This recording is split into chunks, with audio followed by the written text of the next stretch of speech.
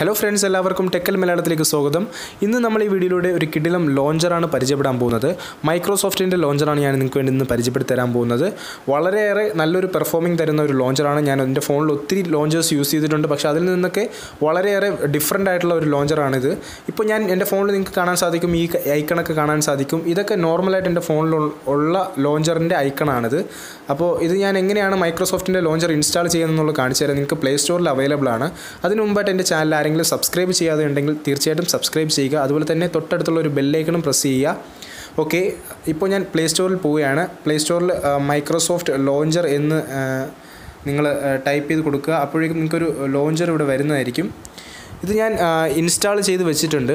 Okay ഞാനിത് നിങ്ങൾക്ക് ഇവിടെ കാണാൻ സാധിക്കും. ടെൻ മില്യൺ ഡൗൺലോഡ്സാണ് ഈ ലോഞ്ചറിനുള്ളത് അപ്പോൾ ഫോർ പോയിന്റ് സിക്സ് റേറ്റിംഗും ഉണ്ട്. ഞാനിത് ഓപ്പൺ ചെയ്ത് കാണിച്ചു തരാം. ഓക്കെ ഓപ്പൺ ചെയ്യുമ്പോൾ നിങ്ങൾക്ക് ഗെറ്റ് സ്റ്റാർട്ടഡ് എന്ന് പറയുന്ന ഒരു ഓപ്ഷൻ വരും. നിങ്ങൾക്ക് ഇവിടെ എല്ലാം നെക്സ്റ്റ് അടിച്ച് പോവുക. ഇതിനകത്ത് അലോഗ് ചെയ്യുക. ഓക്കെ എല്ലാം അലോ കൊടുത്തതിന് ശേഷം നിങ്ങൾക്ക് ഇവിടെ സൈനിങ് ചെയ്യാനുള്ള ഒരു ഓപ്ഷൻ വരും. അവിടെ നിങ്ങൾക്ക് വേണമെങ്കിൽ സൈൻ ഇൻ ചെയ്യാം. അല്ലെങ്കിൽ സ്കിപ്പ് അടിച്ച് പോവാം ഓക്കെ നെക്സ്റ്റ് കൊടുക്കുകയാണ്. ഓക്കെ ഇമ്പോർട്ട് കൊടുത്തു. ലെറ്റ്സ് ഗോ ഓക്കെ ഇപ്പോൾ നിങ്ങൾക്ക് ഇങ്ങനെ ഒരു ഓപ്ഷൻ വരും. നിങ്ങൾക്ക് ഇതിന് ഡീഫോൾട്ടായിട്ട് സെറ്റ് ചെയ്യണമെന്നുണ്ടെങ്കിൽ ഓൾവേസ് കൊടുക്കാം. ഇല്ലെങ്കിൽ ജസ്റ്റ് ഓൺ കൊടുക്കാം. ഞാനിവിടെ ഓൾവേസ് കൊടുക്കുകയാണ്.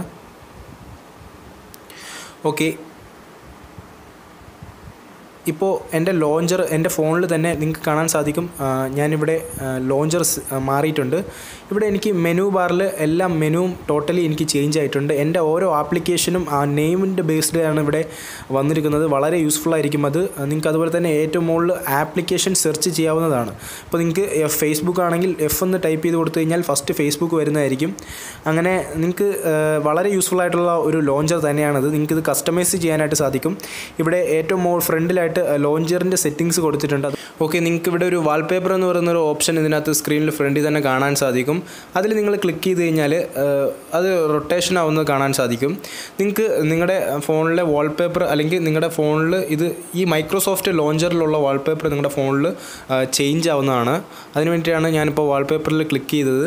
ഇത് ഡൗൺലോ കണ്ടില്ലേ? ഇപ്പോൾ ഇത് ചേഞ്ച് ആയിട്ടുണ്ട്. വാൾപേപ്പർ ചേഞ്ച് ആയിട്ട് നല്ല നിങ്ങളുടെ ഫോണിന് സൂട്ടബിൾ ആയിട്ടുള്ള സൈസിൽ നല്ലൊരു ഫോർ കെ റെസൊല്യൂഷനിലുള്ള വാൾപേപ്പർ പേപ്പേഴ്സാണ് ഇത് ഡൗൺലോഡ് ചെയ്ത് നിങ്ങൾ സെറ്റ് ചെയ്ത് തരുന്നത്.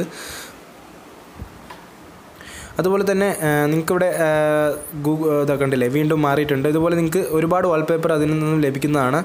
നിങ്ങൾക്ക് അതുപോലെ തന്നെ നിങ്ങളുടെ ഐക്കൺ ഇങ്ങനെ വേണ്ട എന്നുണ്ടെങ്കിൽ നിങ്ങൾക്ക് ഇവിടെ ഏറ്റവും മുകളിൽ റൈറ്റ് സൈഡിൽ ഒരു ത്രീ ഡോട്ട് ഉണ്ടാവും. അതിൽ ഹൊറിസോണ്ടൽ ലേഔട്ട് എന്ന് പറയുന്ന ഒരു ഓപ്ഷൻ നിങ്ങൾക്ക് ക്ലിക്ക് ചെയ്യുക ക്ലിക്ക് ചെയ്ത് കഴിഞ്ഞാൽ നിങ്ങൾക്ക് ഇങ്ങനെ ഹൊറിസോണ്ടലി നിങ്ങൾക്ക് ഇങ്ങനെ സെറ്റ് ചെയ്യാനായിട്ട് സാധിക്കും.